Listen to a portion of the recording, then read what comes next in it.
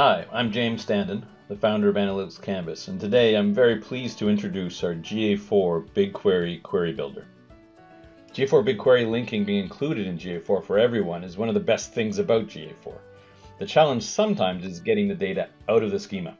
Today I'm going to show you how we make a pipeline from GA BigQuery to Looker with Analytics Canvas. Analytics Canvas lets you define data flows with graphical blocks and spreadsheet function syntax then generates the SQL to automate everything in BigQuery. Let's start a new data flow with the GA4 BigQuery Query Builder. We drag and drop the block. You can see we've got connectors to Universal Analytics, GA4's Data API, but we're going to be looking at the GA4 BigQuery. You can see that we can grant access to all of our properties.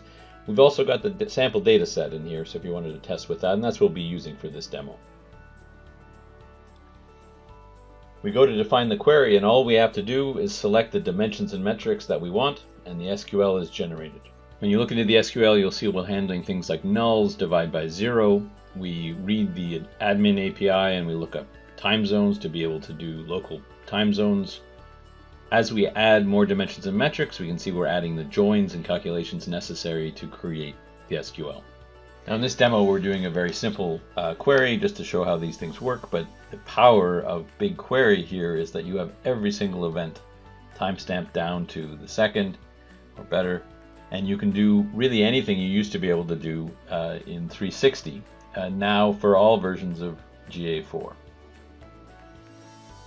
For the beta, we've implemented the first set of dimensions and metrics, but we're certainly not finished. We'll be having all the dimensions and metrics that are currently anywhere in the UI, in the API, etc.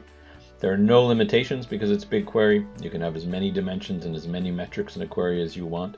There's no sampling, there's no other, there's no daily or hourly API quotas that you have to worry about. Once we've got our query, now we set the date range and the refresh period. This is important. We do incremental loading, and this query can then be automated later in the canvases that you and flows you want to run. So now that we've got our block on the canvas, we can drag and drop a Data Studio, now of course Looker Studio, export block, uh, and then we'll configure that up. Basically, we just define what we want it to be called inside the Analytics Canvas partner connector, uh, what the master date column should be, and who has access. When we go into Data Studio, we can find the Analytics Canvas connector under the partner connectors, and that data set will be on our drop-down list if we have been granted access to it. Now that we have a report in Looker Studio, there's another huge advantage to using Analytics Canvas. If you write your own SQL and you query the GA event tables directly from Looker Studio, although there is some caching, there could still be a large number of queries hitting the much larger event tables in BigQuery. If you are using Analytics Canvas, not only did it write the query for you, it loads the data incrementally to minimize data processing, and the much smaller report tables also result in a much faster report refresh for your users.